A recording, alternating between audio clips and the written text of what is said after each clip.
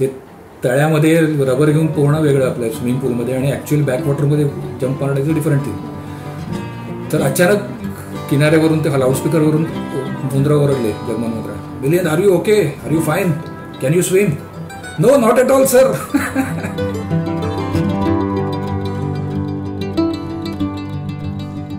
मुक्काम post travel सिरीजमध्ये या पुढच्या भागामध्ये तुमच्या सगळ्यांचं खूप खूप खूप स्वागत. आज जे पुस्तक आपण डिस्कस करणार आहोत त्याचे लेखक स्वतः आज आपल्यासोबत आहेत. आज आपण खूप लकी आहोत की आपल्यासोबत आहेत मिलिंद गुणाजी सर सर तुमचं खूप खूप खूप स्वागत आहे मुक्काम पोस्ट ट्रॅव्हलमध्ये. हाय हाय हाय नमस्कार नमस्कार.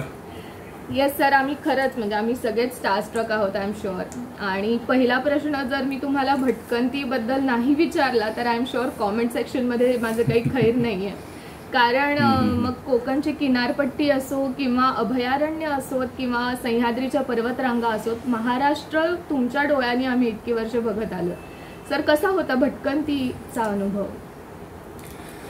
ॲक्च्युली खरं सांगू का भटकंती माझ्या रक्तात माझे रक्तात भिनलेलं आहे किंवा माझं पिंडच भटक्याचं आहे असं म्हणायला हरकत नाही. मग ते काहीतरी कारण काढून मी भटकत असतो. म्हणजे माझं एव्हन इंजिनिअरिंग झालं साताऱ्याला एक फॅक्टरी सुरू केली होती. त्या फॅक्टरीकडे जाताना मी सरळ मार्गाने पुणे सातारा असं न जाता मुंबई पुणे सातारा असं न जाता मुंबई महाबळेश्वर सातारा असं जायचो. म्हणजे त्यातही तो एक महाबळेश्वरचा माझा ट्रेक व्हायचा किंवा एक प्रवास व्हायचा. तर माझं हे म्हणजे काय म्हणतात दिस माय पॅशन अर्थात मी मॉडेलिंग आणि चित्रपट क्षेत्रात असल्यामुळे आपोआपच माझं भटकणं होतं आणि दुसऱ्याच्या खर्चानं होतं ते सगळ्यात म्हणजे आनंददायी असतं. कारण प्रवास प्रवासाचा खर्च राहणं भिणं सगळं इट्स ऑन द हाऊस आणि नंतर काय झालं फोटोग्राफीचा शौक लागला. आणि मग माझ्याकडे पेंटॅक्स के वन थाउजंडसारखे कॅमेरे आले. आधी क्लिक थ्रीचा कॅमेरा होता. त्याच्यावर मी बरे फोटो काढायचो असं माझे घरचे सांगतात. त्यामुळे मला पेंटॅक्स के वन थाउजंडसारखा कॅमेरा हँडल करायला मिळाला. आणि मग भटकंती सुरू झाली. खरं तर आपण दोन गोष्टींची वाट सगळेच बघतोय. पहिली गोष्ट म्हणजे लॉकडाऊन कधी संपणार? आणि दुसरी गोष्ट म्हणजे पाऊस कधी पडणार? आणि महाराष्ट्रातला हो. पाऊस हा सह्याद्रीमधल्या मान्सून ट्रेक शिवाय कधीच पूर्ण होऊ शकत नाही. पण काय सांगू माझे पाय शिवशिवत आहेत. म्हणजे ऍक्च्युली मला अशी इच्छा आहे की याचा जोरात पाऊस पडाव पडवा आणि त्यात कोरोना विरघळून जाऊ असं काहीतरी असं काहीतरी भावाची फार मनोमन इच्छा आहे पण लेट्स होप सो खरंच सगळे ह्याचीच वाट बघतात पण काल मला ते तुमचं पुस्तक परत एकदा वाचताना ते सगळे क्षण रिलीव्ह करण्याचा पुन्हा एकदा जगण्याचा चान्स मिळाला. त्याचं कारण होतं तुमच्या अनवटमधले सह्याद्री पाऊस आणि काही ओले क्षण हा चॅप्टर वाचताना. तर मी तुम्हाला रिक्वेस्ट करीन की त्यातला एक उतारा जर तुम्ही आम्हाला सगळ्यांना वाचून दाखवला असता. मी भारतात आणि भारताबाहेर सगळीकडे खूप फिरलो आहे हिमालय बराचसा पालथा घातला आहे पण तिथला निसर्ग कसा आखीव रेखीव असतो? सह्याद्रीचा निसर्ग कसलंही प्लॅनिंग नसलेला असतो. सह्याद्रीचा काळा कातळ त्याची हिरवाई आणि या सर्वांवर कोसळणारा पाऊस मला अतिप्रिय आहे. त्यातही पावसात सह्याद्री अनुभवायचा असेल तर तो हरिश्चंद्रगड आणि कळसुबाई शिखरावर.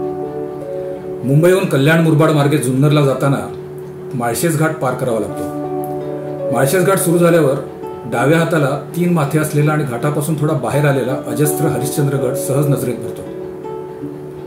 माळशेज घाटाचं पठार आणि हरिश्चंद्रगडाची भिंत यामधली दरीची रौद्रता आपल्याला तिकडे खूपच जाणवते. सह्याद्रीच्या ज्या भागात हरिश्चंद्र वसलेला आहे तो डांग या नावाने ओळखला जातो. गडाला लागून असलेल्या नट्टा घोडीशेप तसंच थोडं पुढे आजोबा रतनगड ते अगदी कुलंगडापर्यंत बहुतेक सर्व गडांना पश्चिम बाजूला थेट कोकणात कोसळणारे कडे लावले हरिश्चंद्राचा पश्चिमेचा कोकण कडा त्याच्या आकारामुळे वैशिष्ट्यपूर्ण ठरला. कड्यावरून आपटून वर येणाऱ्या भन्नाट वाऱ्यामुळे एखादी हलकी वस्तू खाली टाकली तर क्षणार्धात ती परत वर येऊन कड्यावर पडताना दिसते. पावसाळ्यात वाऱ्याच्या जोडीला ढगांची प्रचंड दाटी असते.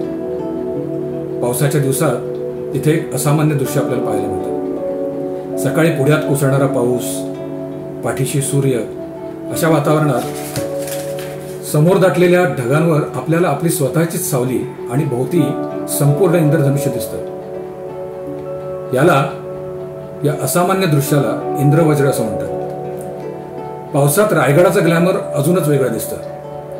संगीताची खरीखुरी ओळख करून देण्याचं श्रेय मी पावसातला या सह्याद सह्याद्रीला देतो. माथेरानच्या प्रत्येक पॉईंटकडे जाणारी वाट दरवेळी मला नवीन वाटते.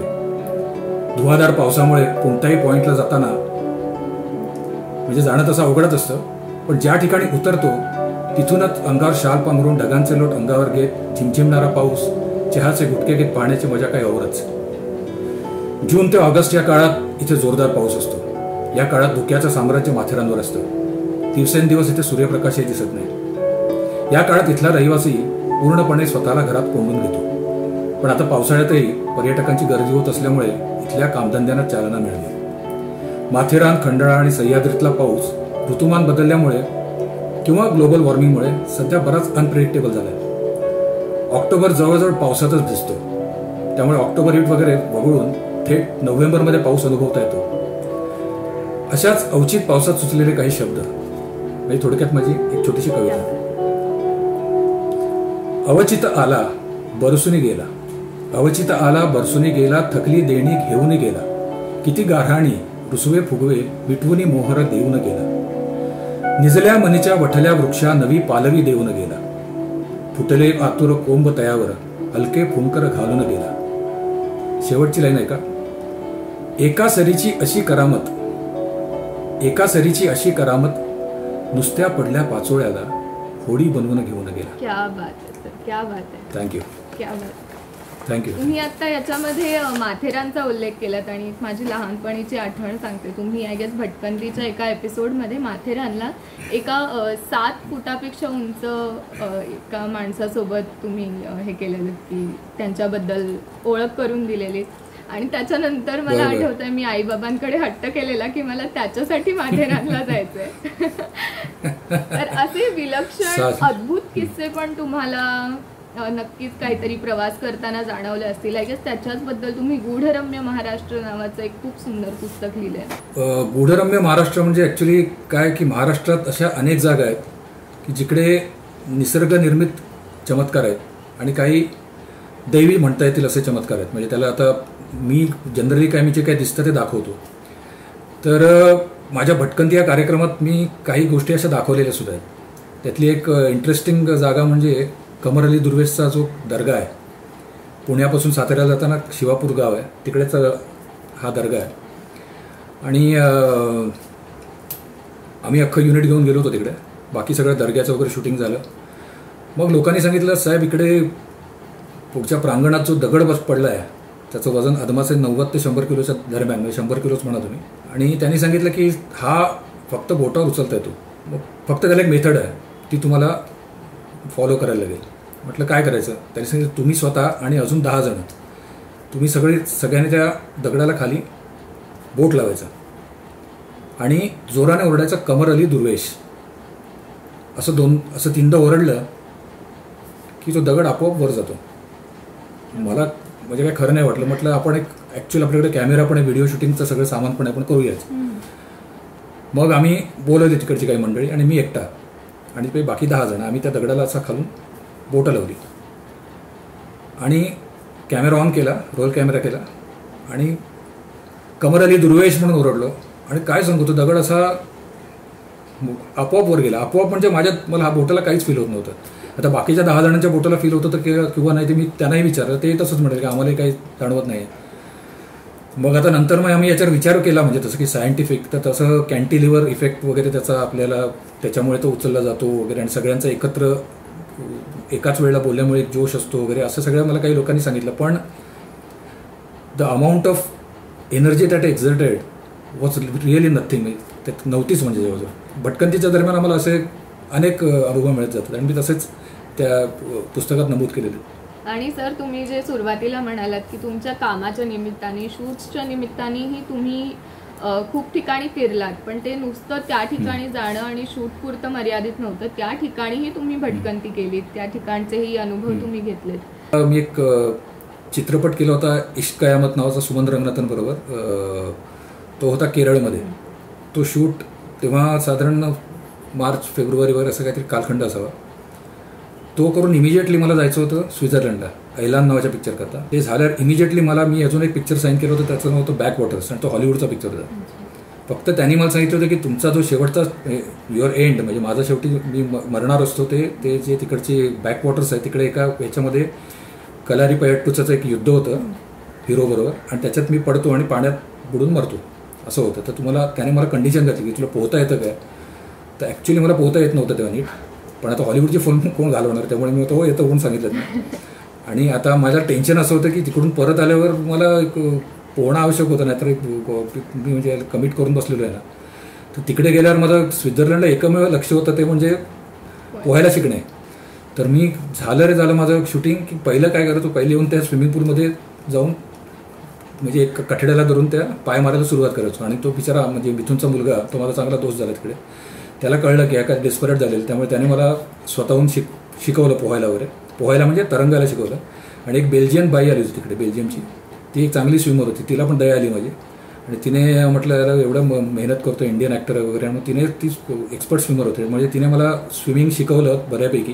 म्हणजे हा म्हणजे एका साईडने दुसऱ्या साईडला जायला लागलो मी. आणि तिने मला ते मग जाताना म्हणजे तेव्हा शिव सो नाहीस जाताना मला तिने एक रबरचं ते फ्लोटर असतो ना जो आपण पकडून शिकतो लहान मुलांना देतो. तो मला जाताना भेट दिला त्याने.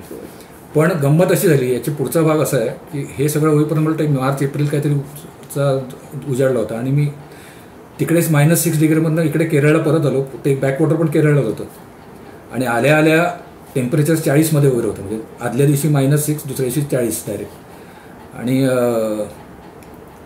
झालं माझे सगळं सीन पिक्चर सगळं झाला शूट होत आला याचा. आणि शेवटचं ते आलं आणि सगळ्यात बेकार म्हणजे ते बॅकवॉटरचं जे पाणी बघितलं ना काळं कुळकळीत तेव्हा म्हणजे माझं पोहणं आलं असतं तरी सुद्धा माझी काही इच्छा नव्हती त्याच्यात उतरून पोहायची. तर एनिवे आणि एवढी माझी डेअरिंग नव्हती की मी जाऊ त्याच्यात जाऊन शॉर्टमधलं पोहणं वगैरे दाखवेन. त्यामुळे सगळं शूटिंग झालं. शेवटचं क्लायमॅक्स अगदी आला आणि तेव्हा तो शेवटचे माझे फाईट होते त्याच्याबरोबरचे हिरोबरचे आणि ते कलारी पयट्टूमधला मला एक वार बसतो त्याचा. आणि मी असा उडी घेतो आणि डायरेक्ट पाण्यात पडतो आणि बुडतो असं होतं. तर तेथपर्यंत मी काय बोललो नाही पण त्याच्यानंतर माझे आपण ज्याला म्हणतो फाटली म्हणजे ॲक्च्युली तं तंतरली माझी म्हणजे आता याच्यात याच्यात म्हणजे ते तळ्यामध्ये रबर घेऊन पोहणं वेगळं आपलं स्विमिंग पूलमध्ये आणि ॲक्च्युअली बॅकवॉटरमध्ये जम्प मारणं इज अ डिफरंट थिंग तर अचानक किनाऱ्यावरून ते लाऊडस्पीकरवरून मुंद्रा ओरडले जर्मन Mundra. Million are you okay are you fine can you swim no not at all sir thank you so much आज तुम्ही इकडे. आलात आणि आमच्या सगळ्यांशी बोललात. लोक जशी होमसिक होतात बाहेर गेल्यावर तसे आपण सगळे भटके आता ट्रॅव्हल सिक होतोय तर.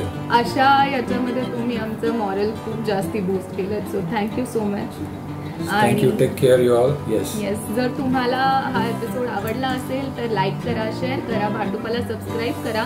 आणि पुढे कुठच्या पुस्तकांविषयी बोलू हे आम्हाला कमेंट सेक्शनमध्ये कळवा. आणि घराबाहेर पडू नका आणि काळजी घ्या सुरक्षित राहा.